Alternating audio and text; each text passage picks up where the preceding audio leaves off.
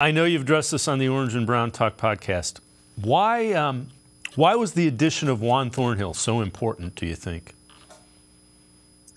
You know, I think there are a lot of reasons why Juan Thornhill is important. And, you know, I think one of the first things is the fact that, you know, he brings uh, a lot of leadership to to that back end. He, he brings a lot of experience. He's been to three straight Super Bowls. He's won two Super Bowl rings. He knows what it takes to get there. You can already see on social media uh, that you know that he's bringing the heat. I mean, he's basically saying, you know, we don't need any negativity around here.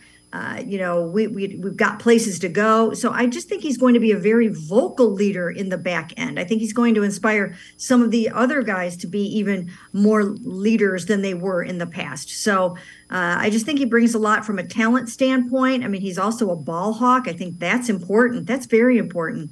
They don't, you know, they don't get enough takeaways in the back end. And I think he's going to be one that will get his hands on some footballs.